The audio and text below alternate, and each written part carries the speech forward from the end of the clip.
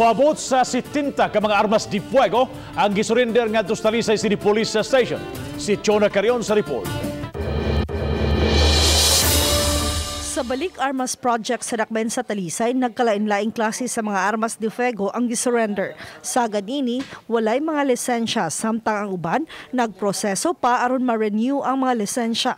Ang uban kung mahuman na sila og proseso ug mapakita na nila ang lisensya, pwede na nilang kuhaon ang mga armas sa police station.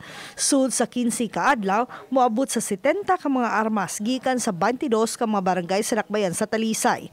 This is a manifestation that uh, there are a lot of law-abiding citizens in Talisay who are willing to help the government and the police to uh, make sure that uh, peace and security uh, are observed.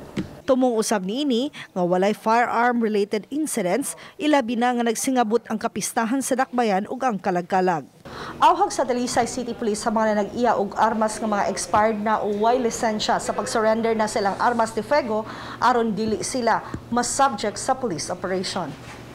Do not wait uh, that we are going to conduct anti-firearm operations in your area. So uh, let us uh, peacefully turn over these firearms Uban ni Rinante Quinones, Chona Carion, Balitang Bisdak.